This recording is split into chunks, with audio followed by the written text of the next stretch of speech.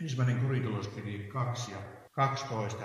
Mutta me emme ole saaneet maailman henkeä, vaan sen hengen, joka on Jumalasta, jotta tietäisimme, mitä Jumala on meille lahjoittanut. Tuo lyhykäinen jae, joka sisältää niin paljon asiaa, että tässä jonkun aikaa voi puhua ihan tämän jakeen tiimoilta. Siinä puhutaan kahdesta semmoista asiasta, johon minä itse kiinnitin huomiota. Ja oli, ensimmäinen oli tuo maailman henki ja sitten se vaan sen henki. Tarkoitetaan pyhää henkeä. Jumalan henki ja maailman henki. Pyhä henki, Jumalan henki, se avaa asioita sanasta ja asioita meidän elämästä. Ja semmoisia puolia meidän elämämme tilanteesta, jota me ei muuten voitaisiin ymmärtää. Ellei pyhä henki olisi meidän kanssa, niin me ei voitaisiin niitä ymmärtää. Eli ennen kuin me saatiin tulla Kristuksen tyköön, niin mä uskon, että semmoisessa tilanteessa, missä oltiin elämässä aiemmin, niin me ei saa siitä mitään, mutta kun tuli pyhä henki tulkiksi elämään ja sydämeen, olemukseen, niin ne elämäntilanteet alkoi puhua eri tavalla. Me ei voitaisiin muuten ymmärtää niitä asioita samalla tavalla. Ja myös pyhä henki on sitten semmoinen, joka puhuu meille asioita ihan konkreettisella tavalla. Se puhuu meille myös siinä hiljaisessa äänessä. Te tiedätte, että mikä on se sydämen hiljainen ääni. muistan, kun pyhäkoulussa jo joskus ja lasten kanssa ollut siitä jonkunlaista leirilläkin oli siitä puhetta joskus, että mikä se on se hiljainen ääni, niin pyhä henki käyttää myös tuommoisia puhekanavia. Mutta Jumalan sanan kautta etupäissä Jumalan pyhä henki puhuu ja, ja tuo kaikki pyhä hengen toiminta on Kristuksen kirkastamiseksi. Me tiedetään se. Pyhä henki avaa meidän silmiä. Jos me koemme, että me ollaan semmoisessa tilanteessa uskoelämässä, että me ollaan umpikujassa, niin on mistään muusta kyse kuin siitä, että pyhä henki ei ole saanut puhua. Sillä ei uskovan tarvitse olla pattitilanteessa. Uskovan on aina pattitilanteessa silloin, kun uskovainen ei kykene kuuntelemaan pyhän hengen ääntä ja ei kykene Jumalalta sitä vastausta ottamaan. Ja väistämättä me jokainen siihen tilanteeseen joskus jouduttaa. Vaikka minäkin sen näin rohkeasti tässä sanon, niin minäkin olen ollut semmoisessa tilanteessa ja varmaan vielä tulevaisuudessakin johtuen tietystä asioista, joista minä vielä mainitsin tässä. Tuo jakeessa mainittu maailman henki ja kun se mainitaan tuossa tuon jakeen yhteydessä, niin se on sitä varten myös osiltaan siellä, että me tuota termiä vasten niin ymmärrettäisiin paremmin, mitä se tarkoittaa. Maailman henki tuo monenlaista ihmisen elämään. Maailman henki tuo himoon ja ahneuden ja nautinnon haluun. Ja maailman henki tuo raakuuden ja vilpillisyyden ja semmoisen ilvihtimisen. Tuo maailman hengen ilo itse asiassa, niin mä kuvaisin sitä, että se on enemmän semmoista ilvettimistä kuin mitä vilpitöntä iloa. Siis ilo Herrassa on puhdasta ja vilpitöntä ja semmoista, joka ei saa aikaa ihmisissä mitään pahaa. Mutta maailman henkinen ilo, niin se on aina semmoista ilvettimistä. Sen takia mä kuvaisin, että se on ilvettimistä koska siihen sisältyy aina semmoista pilkallisuutta ja jopa rivoutahan siihen. Te muistatte, ainakin jotka olette olleet työpaikalla uskovaisina siellä jumalattomien keskellä ja en tiedä miten se naisten työpaikalla on, mutta miesten työpaikalla ainakin oli se kielen käyttö on vähän erilaista. Siellä sai kyllä kuulla sitten sitä ilvehtimistä, mitä tämän maailman ruhtinas harrastaa. Ja Paavalihan varoittaa sitä, että sitä olisi uskovien keskuudessa. Herra, auttako, että emme alentuisi siihen, että me ruvettaisiin ilvehtimään. Edelleen tuo maailman henki on sellainen, että se perustaa kaiken ihmisen kokemisen ja semmoisen elämän tunteisiin. Ja tuo maailman henki on semmoinen, joka sanoo aika ajoin, nuorilla on semmoinen slogan varmaan vielä tänäkin päivänä, mutta se oli silloin, kun minä olin nuori, että jätetään järki narikkaa ja pidetään hauskaa. Semmoinen maailman henki. Maailman henki saattaa ihmisen elämään niin kuin tunteiden varassa. Ja tietysti tuo tunteiden varassa eläminen on kyllä tuttua meille uskovillekin, jos me emme fokusoi aina, emme jaksa aina fokusoida elämämme siihen, mikä on tärkeää.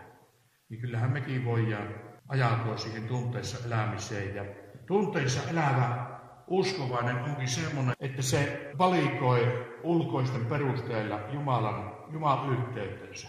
Me tiedämme se, että se arkisin asia on se, että kun on nyt tämä tiistai-tilaisuus, mä en halua osoittaa ketään sormella, mutta maailman henki on hengellisyydessä ja seurakuntakentissä silloin tullut mukaan, kun aletaan valikoimaan Jumalan kasvojen eteen tulemista, että minä päivänä. Vaikka se olisi torstai ja perjantai yö, jos meillä täällä on ilmoitettu tilaisuus, niin me tulemme kohtaamaan Jumalaa, me tulemme Jumalan kasvojen eteen. Mä en usko, että teistä kukaan on tänä iltana halunnut tulla minun kasvojen eteen, jos olet niin pettynyt. Mutta mä haluan tuolla niin kuin kärjistetysti tuoda sen esille, että mikä on sitten tuommoinen hengellisyyteen hiipivä, tuommoinen vääränlainen henki. Ja se on, se on yleistä.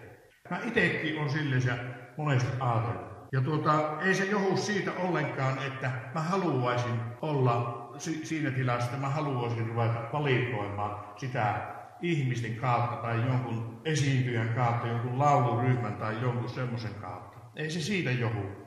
Vaan minun luonnollinen ihmiseni saattaa minut tekemään se. Ja muutamalla sanalla vielä haluan puhua siitä, että tiedätte mitä mä tarkoitan sillä. Mutta tuo maailmallinen henki siis on tuommoinen ja se vielä suvaitsee ja sallii mitä vaan. Semmoinen on mallin, mallisuuden henki. Ja sekin ikävä kyllä on tullut Jumalan seurakunta ja Suomen Sionin myös, että sallitaan ja suvaitaan. Ja minkä takia se tapahtuu? Ainakin tuolla maailmassa, mä muistan, niin se tapahtuu sen takia, mä muistelen omaa elämää ja sitä kun mä seurasin sitä, niin se tapahtui monesti sen takia, että saatiin salattua se, että minkälaisia itse ollaan. Kun oltiin niin pikkuviikareita siellä maailman turuille ja teille ja sitten joku teki joku paha, niin no ei se, ei se mitään, kun siellä sydämessä pahenat, kun minä itse teen semmoisen. Toisaalta taas saattaa olla, että tuo henki tulee sitten semmoisesta tuomitsevaksi sormella osoittavaksi. Ja se on se toinen äkkipää siinä, että kääntyy sen takia toisia tuomitaan ja sormella osoitetaan, ettei vaan kukaan huomasi, että mitä siellä minun oman nutun alla on. Kun Jumalan henki tahtoo koskettaa aina meitä itseämme, eikä ensisijaisesti, että me koskettaisimme toisia. Maailman rakkaus ihanoi kaikkea sitä näkyvää, mikä on meidän ympärillä. Nyt tullaan just siihen asiaan, kun mä mainihin tuosta, että käy kyllä myös seurakuntakengessä se on.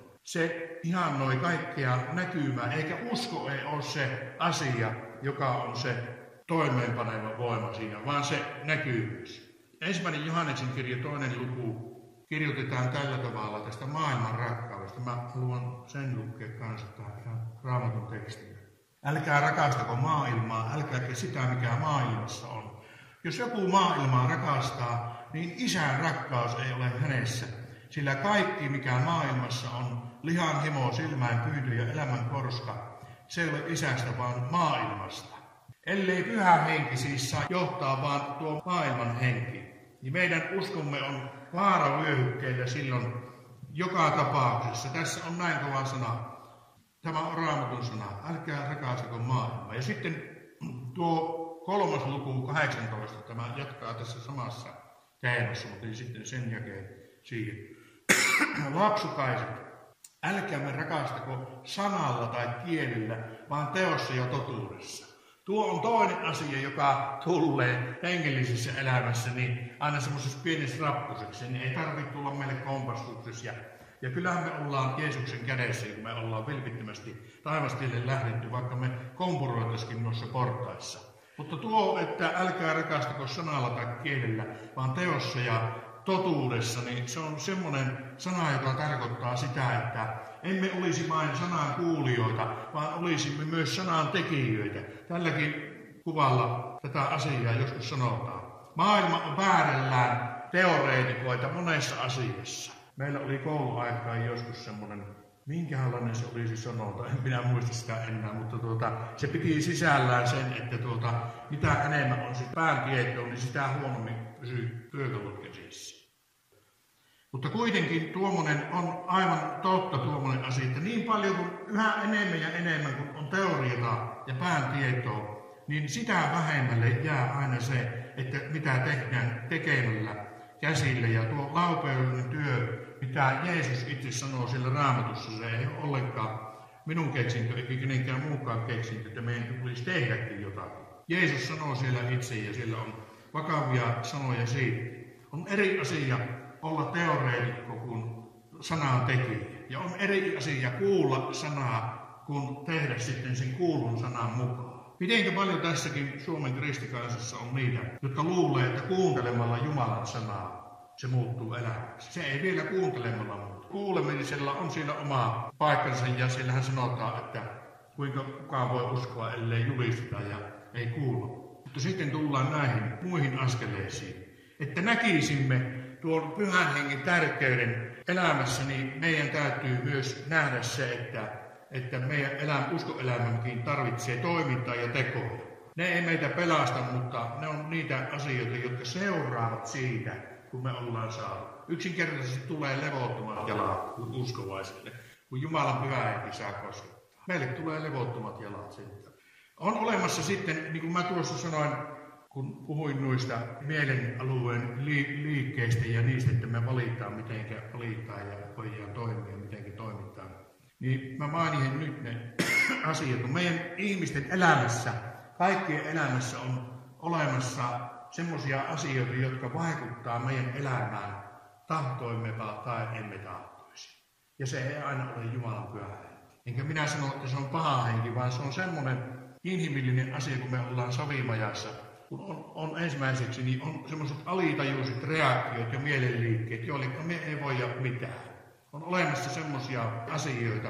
Ja on myös noita vaistoja, jotka ohjailee meidän tapojamme ja ne kuuluu näihin piirteisiin. Eli on olemassa semmoisia alitajuisia asioita, mutta emme voi niille mitään. Sitten tois, toisaalta on niitä opittuja asioita ja eletyn elämän kokemusperäisiä asioita, jonka takia me käyttäydytään tietyllä tavalla. Minulla oli tietyt tavat, kun minä sain tulla takaisin Jeesuksen tyköön, niin mulla oli semmoisia tapoja, ei mitään pahoja, mutta mulla oli semmoisia tiettyjä tapoja, jotka mä huomasin, ai niin, näitä ei tehdä täällä, tällä tavalla Jumalan seurakunnassa, vaan tehdään toisella tavalla.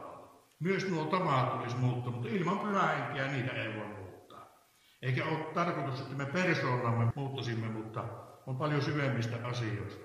Nuo opitut ja kokemusperäiset asiat, niin ne heijastaa sitten siihen meidän käyttäytymiseen, vaikka me ei tahottaisi. Jos nyt emme ihan ymmärtänyt, mitä mä tarkoitan, niin mä haluan selventää sille, että ootko nähnyt koskaan unta, jossa sinä olet tilanteissa tai asioissa, mukana, joissa sinä et valveilla ollessa missään tapauksessa olisi. Uni maailmassa meille tulee jo semmoisia asioita, jotka todistaa sitä, että meidän luonnollisissa ihmisissämme ja meidän sisimmässämme on asioita, joita me emme hallitse muuta kuin hengen kautta. Sillä ne vyöryvät sieltä ja ne juontuvat sieltä kaikkea, mitä me on nähty ja kaikkea, mitä me on kuultu. Ja sitä, mitä ihmisen ajatusmaailma vielä kykenee päälle sen päälle vielä tuottamaan, kun ihmisen omaa mielikin keksii. Joskus sitä voi herätä semmoiseen tilanteeseen, että, että voi vähän ihmetellä, että miten ihmettä minä tuommoista unta, että en ikinä maailmassa ole tuota, tuommoisessa paikassa edes käynytkään tai, tai tämmöistä. Unimaailma, unimaailma, me ei siitä sen enempää tarvii välittää, mutta ne, ne kuuluu ihmisen elämään ja sen takia halusin sitä mainita. Mutta paljon ne meistä kertoo ja meidän kokemuksista. Sitten vielä tuon lihan puolella olevia ominaisuuksia on yksi. Ja se on semmoinen ilmentymä meidän olemuksessa kuin, kuin semmoinen spontaani reaktio. Nyt voisi kysyä joku, että miten spontaani reaktio voi kuulua uskoelämään. Mutta se kuuluu ja se häiritsee hirveästi uskoelämää. Tai oletteko semmoisia, että, että olisi koskaan huomannut, että ihan normaali elämässä, kun joudutaan semmoiseen äkkinäiseen tilanteeseen, niin me reagoimme siihen jollakin tavalla. Ja se tapa ei välttämättä ole kovinkaan Jumalalle otollinen äkkiä. Että jos me kerittäisiin harkita sitä asiaa, niin me ei toimittaisi sillä tavalla. En tiedä, mutta meillä ainakin puoliksi karjalaisille ja karjalaisilla on semmoinen. Kyllä se savolaisillakin varmaan. Hämäläisillä voi olla vähemmän. Mutta tuota, me reagoidaan sillä tavalla, että liha pääsee valtaan. Liha ilmentymä semmoinen spontaani reaktio tulee siinä elämässä ja, ja silloin me huomataan, että kuinka tässä nyt kävikään tällä tavalla ja menettelin tuolla tavalla, mä olisin mennyt ihan toisella tavalla siinä tilanteessa, jos minä olisin niin voinut hiihettää käsjärven kanssa sitä.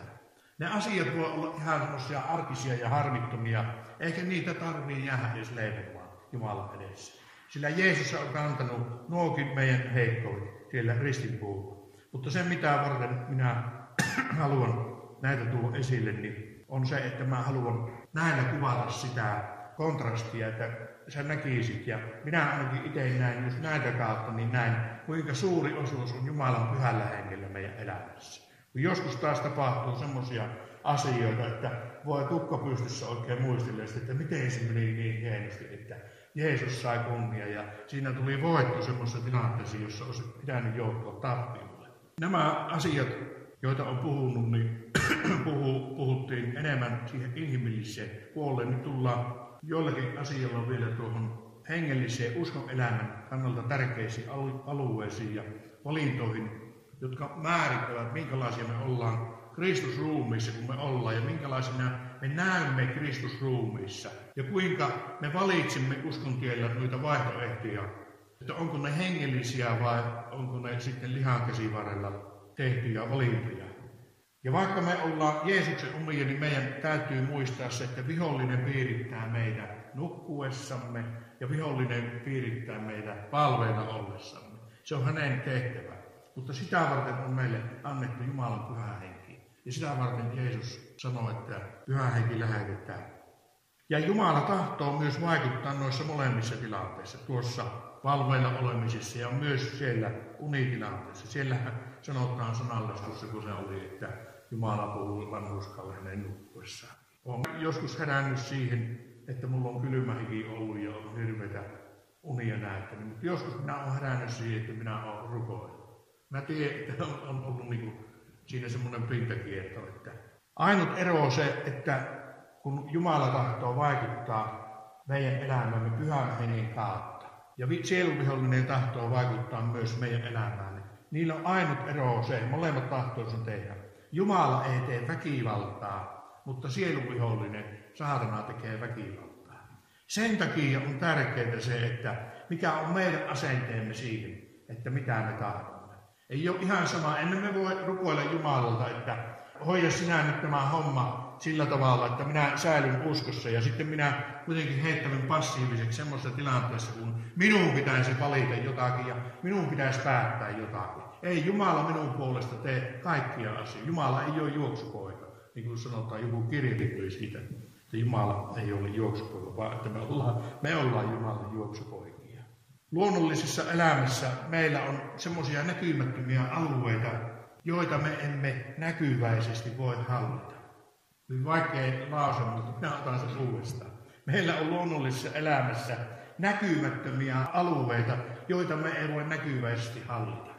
Ja on olemassa se tosiasia, että me ei voi hallita mitään asiaa muuta kuin näkyvästi, kun me ollaan jaaruudessa. Niinpä me ollaan tämän maailman vietävillä, ellemme ole Jumalan pyhää henkeä saaneet. Sen takia on niin tärkeä tuo Jumalan pyhä henki.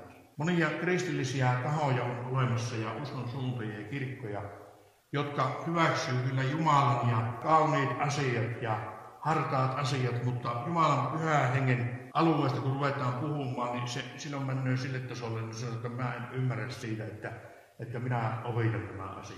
Näitä asioita ei voi ohittaa hatunnostolla, sillä Jeesus sanoi, että minä lähetän teille pyhän hengen olemaan teidän kanssa.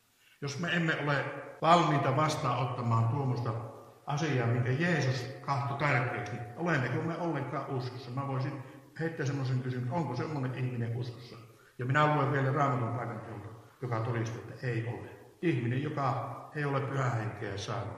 Se on toinen asia sitten, että kielillä puhumiset ja muut, ne kulkee sitten Jumalan maailmassa omilla aikatauluilla, eikä me voi siihen sanella mitään, mutta ihmisen sydämen asenne täytyy olla, että vastaanottavainen Jumalan pyhän henkilö.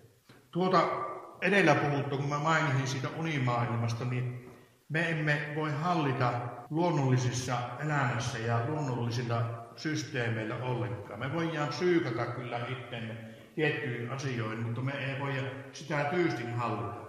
Mutta on siihen yksi asia, joka painaa meidän sydämellemme sormen. Tuokin unimaailma ja nuo spontaanit asiat, jotka. Että, ne pulkua meidän sisimmistä riippuen siitä, että millä me tankataan itteemme viikon varrella. Näissä meidän elämässä on semmoisia näkymättömiä alueita, joita me ei voida hallita. Että meidän täytyy turvata silloin siihen, mikä on meidän turvamme. Ja se on Jeesus Kristus. Raamattu puhuu niistä asioista, jotka ovat siinä mielessä yliluonnollisia, ettei luonnollinen ihminen niitä ymmärrä. Ja, ja minä luen tuosta vielä ensimmäinen korintoloskirja 12, noista yliluonnollisista asioista, jotka ovat meille luonnollisia. Yliluonnolliset asiat, jotka ovat meille luonnollisia. Sen takia, että tämän maailman ihminen, joka ei ole tullut pelastuksen sisälle, niin hänelle ne ovat yliluonnollisia, mutta meille ne ei ole yliluonnollisia. Meille ne on luonnollisia asioita. Ensimmäinen korintolaiskirja 12.4. Ja heti sanotaan se sana. Armolahjat ovat moninaiset. Ja seurakuntavirat ovat moninaiset. Ja voimavaikutukset ovat moninaiset, mutta Jumala, joka kaikissa vaikuttaa, on sama. Isä, poika ja pyhä henki. Jos olisi se teksti sulla sinne nenäessä, niin se näkisit armolahjat. Ja se sanotaan, että armolahjat moninaiset, mutta henki on sama. Sitten seurakuntavirat ovat moninaiset, mutta Herra on sama. Voimavaikutukset ovat moninaiset, mutta Jumala on sama. Tässäkin raamatun jakeessa tuottiin se isä, poika, pyhä henki esille. Mutta kullekin annetaan hengen ilmoitus yhteiseksi hyödyksi. Tuokin on vielä semmoinen asia, joka, no se liittyy enemmänkin tuohon armolahjoihin, en lähde niin kahlaamaan. Armolahjoja on erilaisia, mutta henki on sama. Ja järki ei saa näistä armolahjoista, ei höykysynpöllöistä, niin kuin Savoksi sanotaan. Eikä niitä voi selittää, sen takia kun niitä ei pysty järjellä selittämään. Ihminen, joka ei ole tullut pelastuksen sisälle, niin älä vaan missään tapauksessa uskova ystävä, jos joku sulta kyselee kääntymätön näistä asioista, niin sanoo, että ei puhuta näistä. Meillä ei koulutus riitä kummallakin tähän asiaan. Ei, ei riitä. Jumalan pyhä henki, jos ei avaa näitä asioita, niin turha on puhua niistä.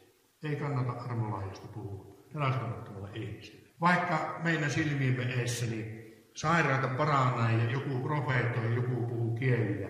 Monia asioita tapahtuu. Onpa niin, että tuo mitä tapahtuu tai koetaan, ja ihminen ei itsekään, joka kokee, niin ei kykene selittämään sitä, niin kuinka sitä voisi selittää toiselle. Niin kuin minä sain silloin, mä sain tulla puuvajapajan reissulta, niin tuli tuommoinen samanlainen puupenkki, on Siilijärvellä on samanlainen kalustus, niin poulistunut siihen ja polvet iski lattia, niin silloin on, olisi, niin olisi annettu semmoinen kylpy päälle. Mä en voi selittää, mitä siinä tapahtui, ja, enkä minä haluakaan selittää, mutta tuo kosketus oli semmoinen, jossa minä sain voimaa. Mä tiesin seuraavalla viikolla, että se ei ollut mikään tunnelataus. Ja minä tunnelatauksiakin on paljon saanut. No sen verran taiteilija kun musiikista ja muusta tykkää ja kuvamataito ja kaikki semmoinen on lähellä sydäntä. Mutta siinä on eri asia ja se kirkastaa Kristusta. Tuo ensimmäinen korintolaiskirja 12.10 sitten se jatkaa. Toinen saa lahjan tehdä voimallisia tekoja, toinen profeetoimisen lahjan, toinen henkien erottamisen lahjan, toinen eri kielillä puhumisen lahjan, toinen taas lahjan selittää kieliä. Kaiken tämän vaikuttaa yksi ja sama henki, joka jakaa kullekin erikseen niin kuin tahtoo. Ja tässä me nähdään semmoinen inhimillisyydestä poikkeava asia, mikä on luonnollisessa maailmassa ihan toisinpäin. Se, että Jumala ei katso penkille. Työmaalla, kun me oltiin siellä, niin siellä katsottiin suoritteisiin. Ja onhan se nyt kustannuslaskelmassa jo hyvä kautta. Eihän ketään tahansa myyntihommia pysty laskemaan. Eikä ketään tahansa suunnitteluhommia. Mutta Jumalan pyhä henki on siitä ihmeellinen. Ei katso henkilöä, ei katso onko se sitten oppinut tai oppimaton. Ja ensimmäinen kunintolaiskirja edelleen. Meidät kaikki, olimmepa juutalaisia tai kreikkalaisia, orjia tai vapaita. Nyt ei ole orjia tai vapaita, mutta me voitaisiin lukea nyt tämä näin. Olipa juutalaisia tai kreikkalaisia, suomalaisia, ruotsalaisia, olipa sitten eri yhteiskuntaluokista tai mistä hyvänsä, niin on yhdessä hengessä kastettu yhdeksi ruumiiksi. Kaikki nämä eri yhteiskuntaluokat ja eri kansallisuudet. Valitettavasti tämäkään ei toteudu Suomen siivumissa tänä päivänä. Sen takia, että seurakunta, Kristuksen ruumis, on ajautunut sivuun siitä, Kristuksen asetuksesta siitä suunnitelmasta, minkä hän suunnitteli Kristuksen ruumiille. Mutta me ei tarvitse hätäillä sitä, hän asettaa sen paikalle. Me vaan rukoillaan sitä tänäkin iltana, kun päästään rukoilemaan tässä, että Jeesus asettaisi tuon Kristusruumiin paikalleen Suomen Sionissakin ja, ja meidän omassa seurakunnassa etupäässä, että me, me nähtäisiin se ihanalla tavalla, että siellä on profeetoja, on, meillä näitä arvoja ja siellä on kaikenlaista. Mutta kun me näitä ollaan näitä asioita, mitä mä oon tässä nyt sitten puhunut, niin mikä on sinun reaktio sille sydämessä, jos ajattelee, että kun sinä saat juoda tuosta pyhästä hengestä eräänä päivänä, minä pikkusen kerroin sitä, että mikä on minun reaktio. Mä olin ihmeessäni ja paljon tapahtui sen jälkeen. Mikä on sinun reaktio, kun sait juoda tuota Jumalan pyhää henkeä? En mä pysty ohjeistamaan ketään, enkä mä edes alas sitä, mutta mä oon varma, että Jumala jätää siitä puhumista aika ajoin jokaiselle. Jumala tahtoo puhua meille siitä, että tämä hänen pyhähenkensä tahtoisi tehdä. Jumala pysäyttää eri tavalla elämän aikana. Se voi olla monenlaista siellä. Näissä Pietarin ja nuo Paavali ja nuo apostolit, kun ne tekivät noita voimatekoja ilmeni heidän siinä alkuseurakunnan keskellä, niin jos sitä ruvetaan tutkimaan, että mitä ihmettä hienoa niillä oli siellä, kun niillä oli niin voimallinen asia, niin ei tarvitse vaivautua meidän tutkimaan, minä löysin sen sieltä. He saarnasivat ylösnoussutta Jeesusta. Se on näin helppo. He saarnasivat ylösnoussutta Jeesusta ja tunnustekojen ihmeitä alkoi tapahtua. Muistamme se, jo siellä oli vakaviakin asioita, siellä oli se Ananian ja Safiran tilanne, joka kertoi sitä, että sitoutumista ja sitä rehellisyyttä punnittiin tuossakin seurakunnassa. Nykyisinkin tuo, tuo seuraamus on nähtävillä. Silloin kun Jumalan pyhä henki saa vallata ihmisen ja seurakunnan, niin muotojumalisuus poistuu takavasemmalle. Nuo apostolit siis saarnasivat ylösnousutta Jeesusta ja Jeesuksen uskoviksi tuli paljon kansaa. Kerrotaan, että tuli paljon. Ja sitten kerrotaan niitä asioita, jotka on yhteistä sitten, onko sitä porukkaa paljon tai vähän. Sanotaan, että heidät kastettiin. Uskoon tulleet saavat yleensä, yleensä myös pyhähengen sinetiksi tai merkiksi sen kielillä puhuminen, mutta ei, ei kaikki. Silloin, sanottiin silloin, silloinkin Paavali sanoi, mutta ei kaikki puhu kielillä. Tämä ei ole ollenkaan semmoinen selitys, jonka mä haluaisin antaa uskoville, joka et ole täyttynyt pyhällä hengellä sillä tavalla, että olisit saanut kieli. Sinun ei tarvitse ajatella, etteikö sinä olisit pyhää henkeä saanut, mutta sinun täytyy ajatella, että sinun täytyy saada kieli. Jos sinä et ajattele, että sinä haluat saada pyhää hengen lahjana tuon, myös tuon kielillä puhumisen, et sinä sitä myöskään saa. Näissä raamatussahan sanoo, että anokaa, niin teille annetaan, etsikää, niin te löydätte. Jos sinä halua, niin ei Jumala sitä sulle ei Jumala väkisillä ketään täällä pyhällä hengellä, eikä myöskään anna kielillä puhumista, saatikaan muita armolahjoja ja voimatekoja, niin niitä kaikkia, jos niitä haluaa, niin niitä täytyy pyytää. Se oli silloin, ja se on sama asia vielä tänäkin päivänä. Silloinkin tuohon aikaan oli Paavalin rinnalla ja Pietarin ja noin apostolien rinnalla kulki semmoisia ihmisiä, jotka ihannoivat noita voimatekoja, niin kuin tänäkin päivänä on nähtävillä. Ja onhan se hienoa, kun sairaata paranee ja, ja se on raamatussa luvattu. Mutta sitten aina kun näitä ilmenee ja ne on vilpittömiä asioita, niin kuuluu uskoelämään. Mutta kun näitä ilmenee, niin aina tulee niitä ihmisiä siihen kulkemaan. Aina on vanavedessä niitä ihmisiä, jotka ovat sitten ihan muun asian takia siinä mukaan. Mutta hyvä, kun ne sinne kuleksiin. Me muistamme sen Noita Simonin, joka teki omia johtopäätöksiä ja se ajatteli, että nyt on vähän hynäpi, jos minä se sitten on saman voima kuin oli näillä Pietarille ja näille. Ja, hänelle luettiin aika kova tuomio, hän jo sitten ymmärri pyörittää puheensa. Sitä raamattu ei kerro, miten se loppui, mutta kyllä hän katuu sitä, mitä ainakin sanoo sanoillaan sen, että älkää mitään tapahtuko, että hän halusi kääntyä siltä tieltä. Meidän elämässä tuon mainihin sen takia, kun meidän elämässä voi olla vääränlaisia esteitä sille, että Jumala voisi vaikuttaa pyhähenkisen kautta meissä ja meidän elämän kautta. Eikä se pyhähengen vaikutus ole etupäässä meidän itsemme varten, mutta niin kuin sanassa jo minä luin sitä yhteisössä keinot, jos kaikkihan ne täytyisi olla. Jos se olisi itsemme varten, niin myöhemmin voitaisiin kotisohvalla tänä iltana kaikki ja rukoilla siellä. Joskus täytyy sitäkin tehdä. Pietari joutui tällaisessa tilanteessa, kun kohtasi tuommoisia asioita, niin se joutui aika suoraan puhumaan kansan joukolle. Mutta mitä niin teki myös Jeesus? Mitä Jeesus teki ja mitä Jeesus puhuu, kun hän tapasi semmoisen ihmisen, joka oli, no nykykielillä, niitä synagogan ja ja niitä juutalaisia oppineita, mutta mä sanon kansankielellä, kun Jeesus tapasi semmoisia kirjonkirjossa olleita, mutta ei pelastuneita. Tai vaikkapa täysaikaisesti Jumalan palveluksessa olevia, mutta jotka eivät niin kuin itse kokenut sitä hengellis- hengellisyyttä eikä sitä uskoa.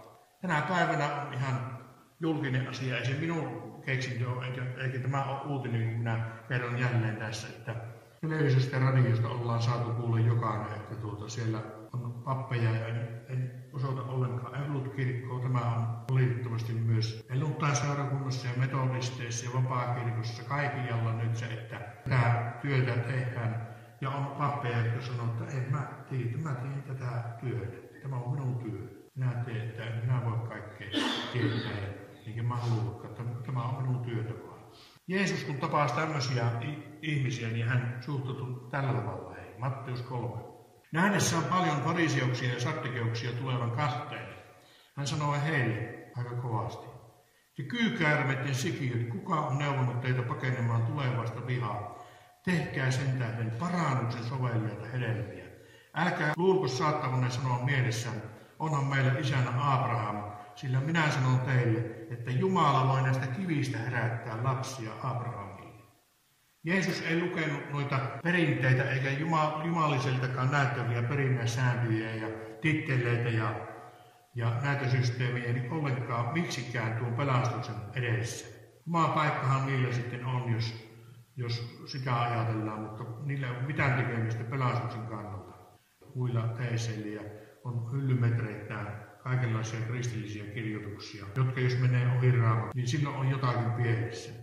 Niillä on oma paikkansa, mutta Jeesuksen sana oli se, että tehkää parannuksen sovellijata hedelmiä. Eikä edes uskovien kaste mene ohi tuon uudesti syntymisen ihmeen. Siinä on myös yksi asia. Lapsi kasteesta tai ristin merkillä ja Jumalan lapseksi lausumisyrityksistä puhumattakaan. Onhan niitä semmoisiakin. Se meidän Suomessakin on. Ne on kauniita asioita, en minä halua niihin puuttua. On kaunista asiaa siunata lapsia. Mutta kun lasta ajatellaan esimerkiksi Mä tiedän sen takia, kun mä oon itsekin ollut tässä tilanteessa. Mä en muista siitä vaan mitään. Lapsena mä olin otollinen Jumalalla, ilman mitään sakramenttia. Mutta kun minä olin joku semmoinen 5-6-vuotias, niin minä muistin, että mulla on kierros noussa pinta. Mä tiesin, että miten minä vaan väättää. Siinä vaiheessa minä tulin elämässä, niin tiedättekö mihinkä vaiheessa mä tulin? Mä tulin etsikkoaikaan. Tänä päivänä kristillisessä maailmassa kaikki eivät tunnusta sitä, että ihminen tulee tullessaan etsikkoaikaan. Hän tulee silloin siihen kypsyyteen, jossa hän voi joko ottaa pelastuksen vastaan tai hyljätä pelastuksen. Ja sitten on näitä erilaisia mielipiteitä ja näkemyksiä kasteista ja kaikissa niissä on jotakin hyvää, mutta totuus on kuitenkin se, että, että tuokin uskovien kaste, mikä on meidän seurakunnassa tavalla, niin se on seuraus Jumalan lapsiksi tulemisesta, eikä sitä, että meillä Jumalan lapsiksi tultaisiin mitä kasvattaa. Ei meilläkään sitä voi tehdä. Jos me tehdään sillä tavalla, niin me ollaan menty harhaan. Parannuksen näissä annettiin jo edellä kulkevan tuon Johanneksen kautta. Minä vielä jonkun sanan siitä kasteesta. Se on sitten myö käyvään rukoukseen. Jeesus ei olisi tarvinnut kastetta, te tiedätte sen hyvästi. Jeesus oli Jumalan poika. Mutta haluten antaa esimerkin, hän myös sen tahtoi ottaa sen kasteen.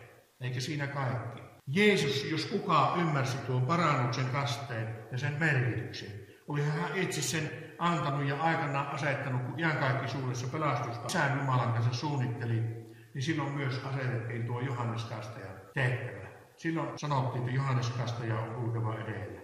Ja kun Jeesus kastettiin ja isä lausui sanat, te muistatte tuon, kun Jumalan pyhä henki laskeutui pyyhkysen muodossa Jeesuksen ylle, niin siellä sanottiin, tämä on minun rakas poikani, kuulkaa häntä.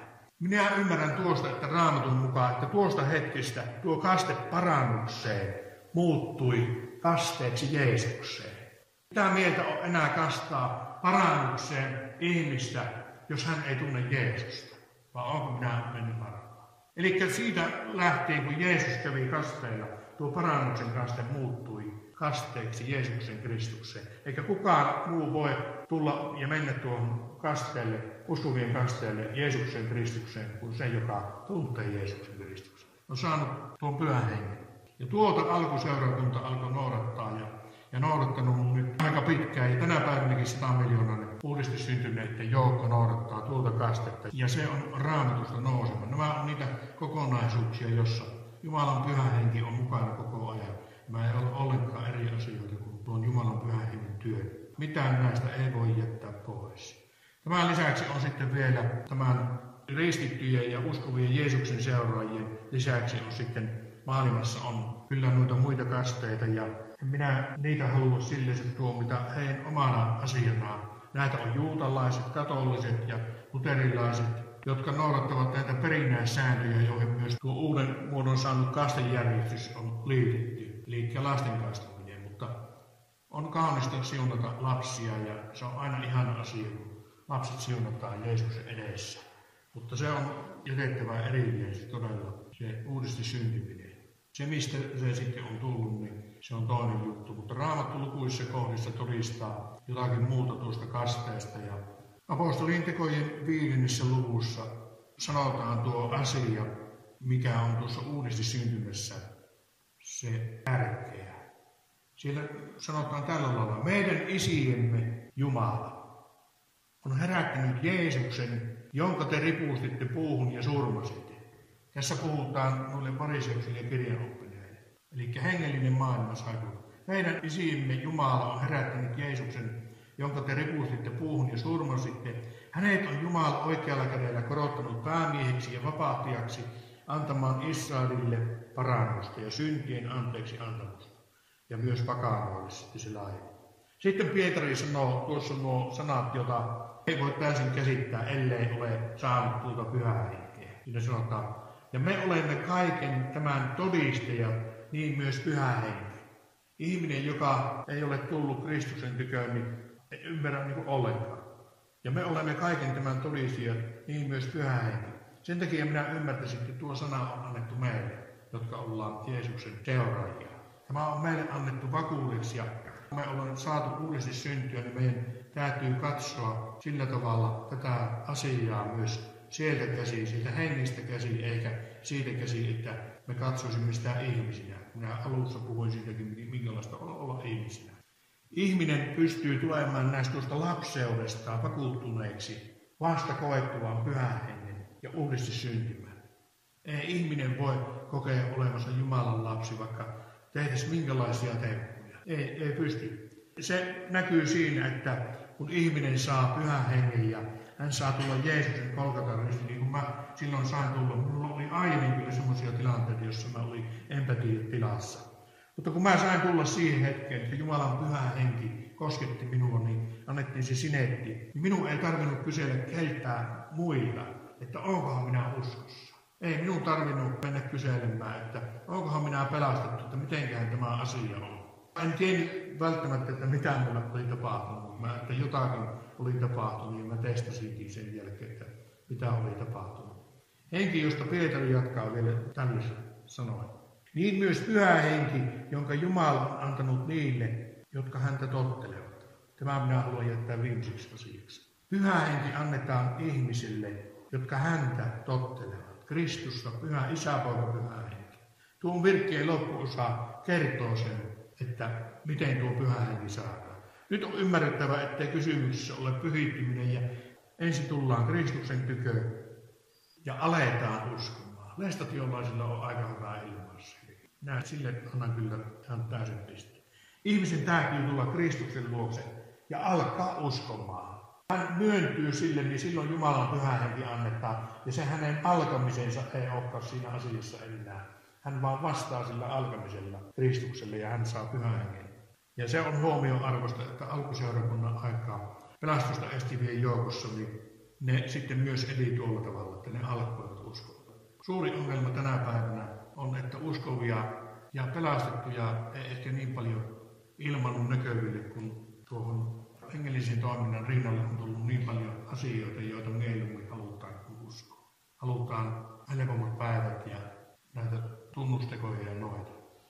Tästä kaikista me, meille pitäisi jäädä korvan taakse se, että Jumalan pyhä henki kutsuu meitä ja opettaa ja se opettaa kuuliaisuutta ja antaa myös voiman. Siellä on se apostolien tekojen kahdeksas luku on siellä semmoinen voimallinen luku, että jos voit lukea sen kotona, mä en enää ole mikään vaan rukoilemaan Sillä Filippus oli siellä, sillä tiellä, mistä se nostettiin sitten Filippuksen kyydillä muualle. Siellä oli semmoinen asia Filippuksen elämässä, että hän oli kuulija niin tapahtui ihmeellisiä asioita. Ja kun kästein toin tuohon, niin haluan jättää teille vielä, se nyt pakko sanoa minulle se, että tuo kaste on vertauskuvaa, niin kuin Pietarin, ensimmäisen Pietarin kirjeen kolmannessa luvussa sanottu, että tämän vertauskuvan mukaan vesi nyt teidätkin pelastaa kasteena, joka ei ole lihansaastan poistamista, vaan Jeesuksen veritekeeseen. Vaan mitä se tuo kaste on? Vaan hyvän oman tunnon pyytämistä Jumalalta. Näin sanoo Jumalan sana. Jeesuksen Kristuksen ylösnousemuksen kautta, hänen, joka on mennyt taivaaseen ja on Jumalan oikealla puolella, ja hänen hallinsa ovat enkelit ja vallat ja voivat alistettu. Pyhä henki on ihmeellinen asia, ja se on meille annettu voimaksi ja oppaaksi. Tämä aina kaivella korvia, että saadaan kuulla paremmin kuin Jumalan ääni. Käy vaan rukoilemaan, ja oliko esirukouksia?